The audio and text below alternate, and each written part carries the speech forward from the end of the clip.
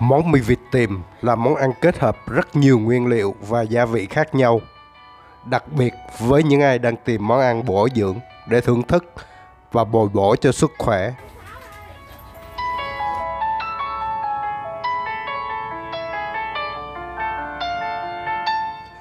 Để được thưởng thức tô mì vịt tiềm thơm ngon, đậm hương vị Trung Hoa tại Sài Gòn. Hẻm 61 Phan Văn Hân, phường 17 quận Bình Thạnh, chị Yến sẽ đáp ứng được cho bạn nhu cầu đó.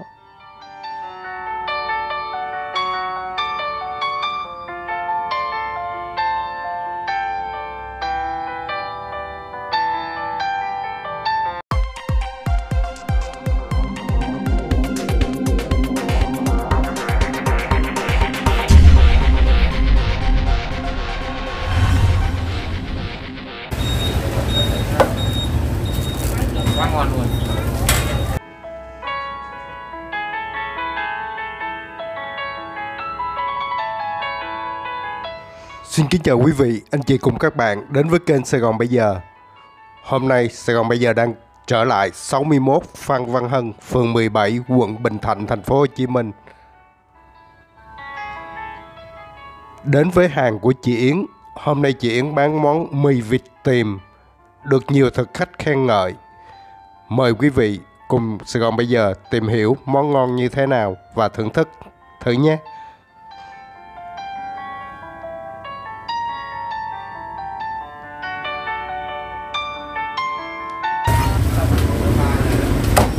Hôm nay nhà mình uh, bán mì vịt tiềm hả chị? Dạ, À, chị, cái vịt ờ, vịt này là mình mua nguyên con nhà mình làm hay là mình mua? Không. mua dạng ờ, người ta làm sẵn cái loại này à, đùi có. Không có lấy à, không có lấy nguyên con. À, mua cái này nó là mắc hơn nhưng À. mà mình không có xài đầu cờ, cổ cánh à đúng rồi, đúng rồi. không có xài cái đó. À chị mình xài đùi với lại ờ, xương hả chị xài à, đồ đùi hai với tư tư thôi ha. Cứ là xài vịt là phải xài gốc tư vậy. À, em em thấy cái cái cái cái vịt này nó em thấy cái đùi này nó đều nhau lắm. Thì chắc cái con này cỡ ờ, mình mình chọn cái cái ba loại. cái các cái loại này là ba cái máy một miếng À. này là bảy lạng á anh. Miếng bảy lạng là nó Miếng ngon chị ha? miếng là bảy lạng. Tại vịt đó nó còn teo nữa anh. Mà anh bỏ vô nước thì nó nở ra. À, còn gà thì nó nở. Lớn quá thì nó nó mỡ không ngon hả chị ha mà gà quá thì- nở à, mà vịt đó thì nó teo. À, mà cái loại vịt này á một miếng vậy là 700 gram anh nếu mà còn sống á. À vậy ha Đó. bán cái đó với vịt đâu một tô là 55 ngàn đó à. Cái này à, mình mua về mình sơ chế có có có cầu kỳ không chị? Có anh này cực lắm à cực lắm hả? À. Nhưng mình ướp dưa gia vị riêng của nó chị ha. Rất là riêng anh. À, một tuần thì mình bán vịt à, bây giờ tìm mấy ngày chị? Dạ một tuần em bắt có ngày này thôi còn mấy ngày kia em đổi món. À. ba phần mì vịt em hết rồi đây. Đây là ba phần thòn chị đó. Đây nè. Đây đây đây.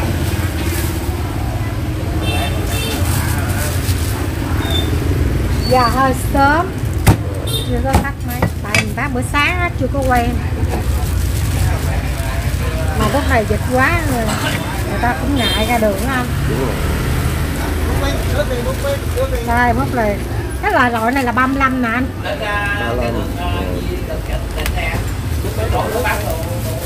Gốc tư này 55 à.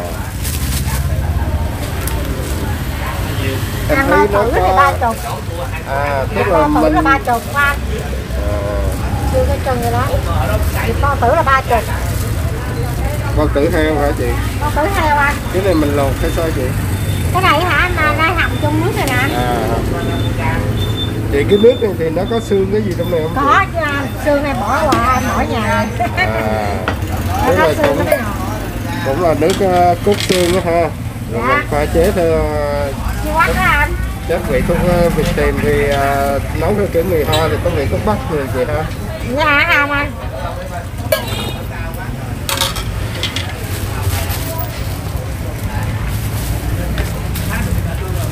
cái ờ, này thì mình ăn rau kèm nó là chả xài à, cái ngọt. À cải ngọt cái này cải ngọt.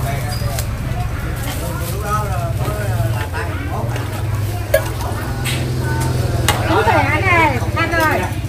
Cái nồi này là nồi nước trộn mì hả chị? Dạ nước cùng mì đó anh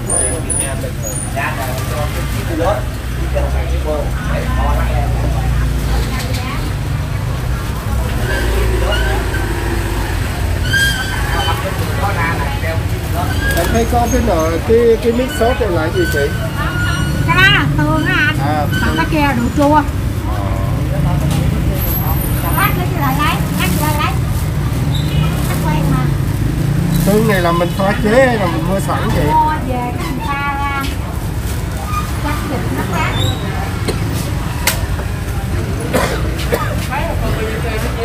dạ dạ dạ lấy đồ ốc tương hay thường kìa anh ơi lấy ốc tương hay là thường ốc tương 55 ngàn. Rồi ra cái liền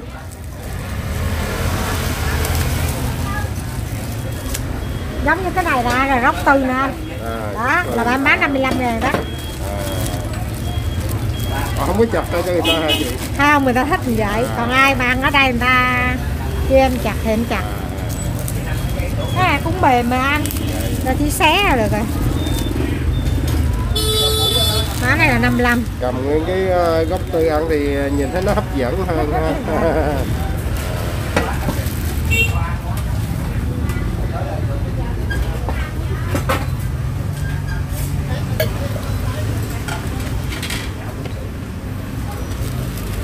Mì này có phải là mì tươi không chị? Cái này là mì tươi nhưng mà các loại hai loại ăn. À. cái loại này có dạ- giòn giòn chút. À, còn cái mì ờ, ờ, cái mì vịt tiền mà cái mì trứng của người ta là khác nữa. À, cái mì ờ, ba tàu á anh. À, là khác nữa. Hình mì dắt á. à nó khác khác. Đúng rồi cái kia là mì dắt thì nó ngon hơn. À, ở đây má mình cái siêu thị này. Cái loại mì này nó cũng ngon anh nó dai nó giòn. Nó giòn hơn. Còn cái mì thường kia nước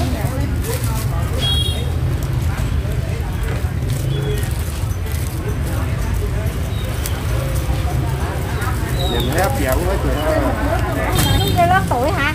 tụi con thử cái bà già mình thường thường À, rồi, rồi. xương á Rồi rồi Tuổi Này góc tu của em trai đó đó. Đùi nè. Bỏ vô đại đi. Thôi đừng rồi, đừng khóc nữa.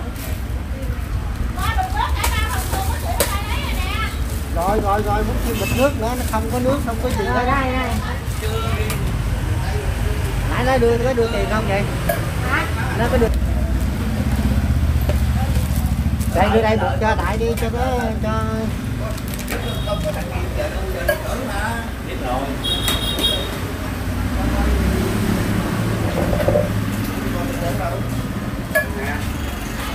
thấy cà phê chưa đá không?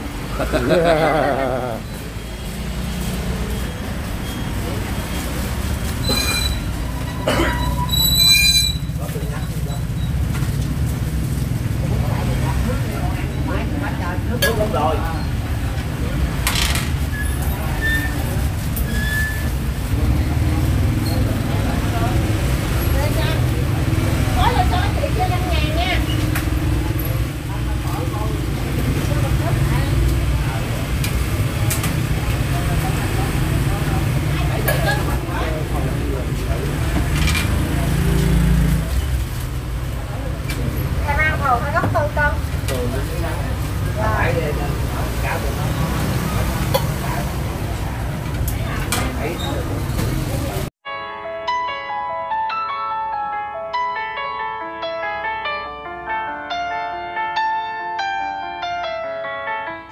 Thịt vịt được chị Yến lựa chọn là loại đùi vừa, tươi ngon, khoảng 7 đến 800 gram được xử lý sạch sẽ qua nhiều công đoạn để khử được mùi hôi tanh của vịt, rồi để khô ráo. Sau đó ướp thịt vịt với nhiều gia vị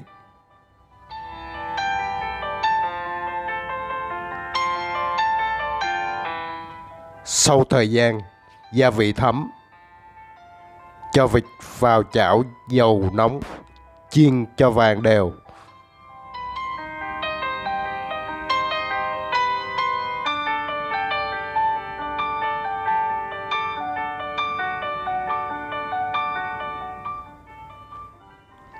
Da vịt giòn, ánh lên màu vàng trông thật bắt mắt.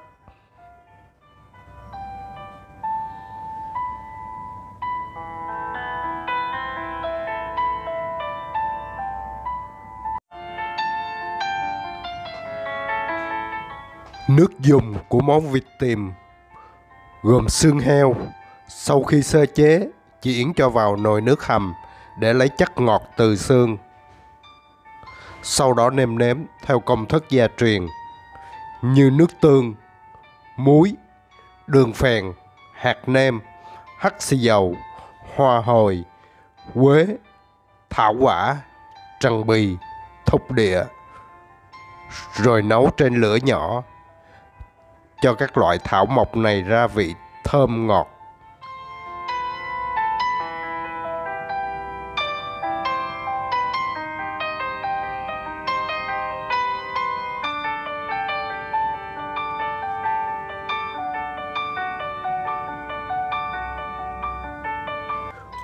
Cuối cùng chuyển cho phần thịt vịt đã chiên vàng vào nồi nước dùng cùng với nấm đông cô, táo đỏ, đun sôi lại với lửa nhỏ liu riu. Nấu thêm một thời gian nữa cho vịt mềm nhừ, nêm nếm lại cho vừa ăn, thấm vị.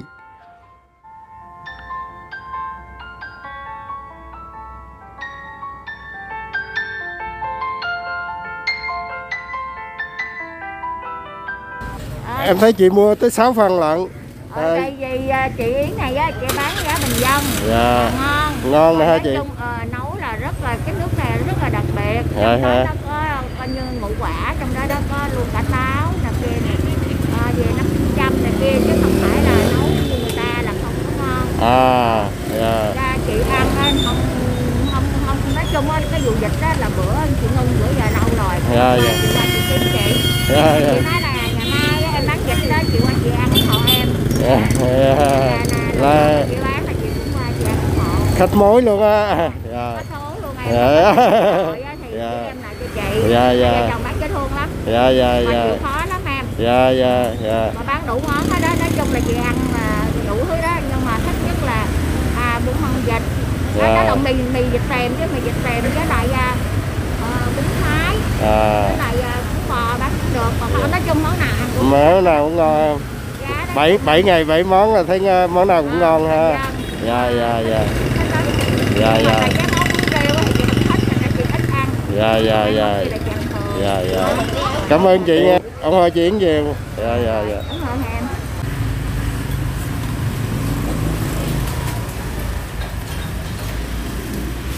Chào anh. Anh hay ăn ở đây không anh? À, hôm nay uh, chị Yến bán à, mì vịt tiềm thì anh ăn à, vịt tiềm ở đây anh thấy sao anh? Cũng ngon ha anh được được anh ha. Giá cả thì phải chăng ha anh ha à chúc anh ngon miệng nha. Ủng hộ chị Yến nhiều nha. À, cảm ơn anh. À.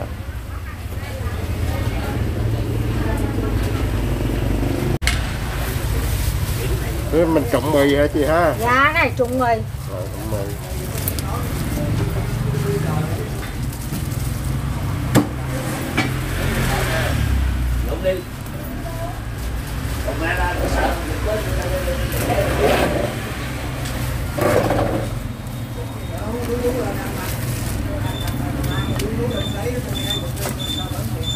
Đây là nước mỡ hả chị? dạ Cho nó khỏi dính hả chị? dạ dạ không dính À. Dầu béo nè, rau cải. dạ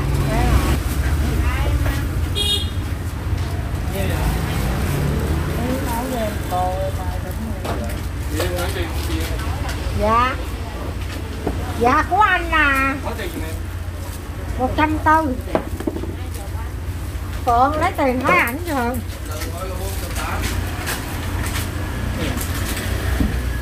có hai trăm sáu đây.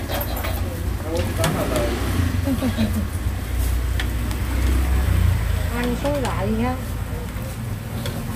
Em lên núi là chị em bảy nha. Sao nghỉ phải không? Dạ tuần sau em vô ngày trai rồi ăn vô ngày trai.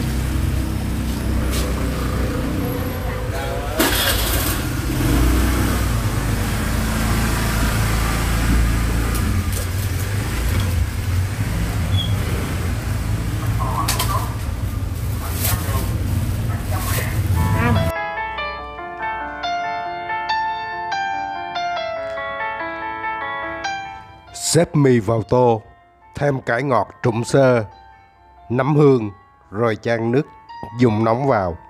Cuối cùng cho miếng đuôi vịt lên trên, rắc thêm chút tiêu xay. Nhìn trông hấp dẫn, bắt mắt, hương thơm ngào ngạt.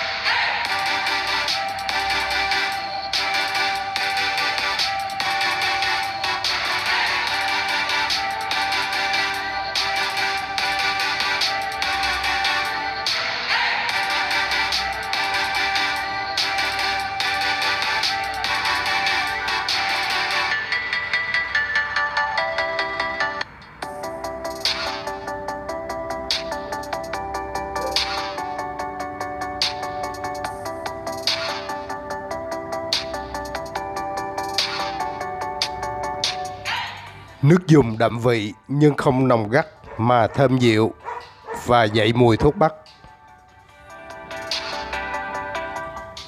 Thịt vịt mềm, thấm vị đậm đà, phần da có màu nâu vàng đẹp mắt.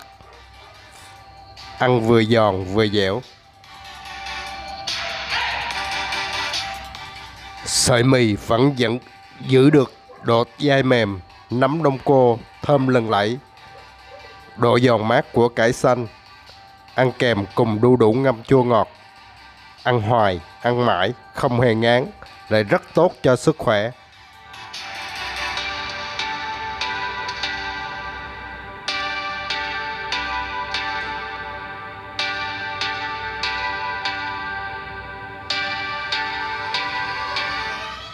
Một công thức cầu kỳ về nguyên liệu và cả phương pháp chế biến.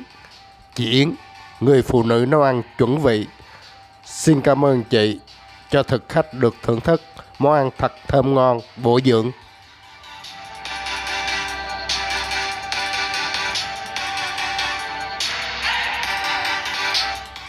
Sài Gòn bây giờ xin kính chào quý vị, anh chị cùng các bạn đã đến cùng đồng hành và trải nghiệm cùng kênh thêm một món ăn ngon, một địa chỉ để quý vị có cơ hội hãy đến trải nghiệm và chia sẻ. Xin chân thành cảm ơn.